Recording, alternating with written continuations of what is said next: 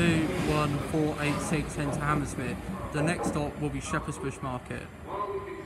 And this is the nearest station to the Central Line at White City.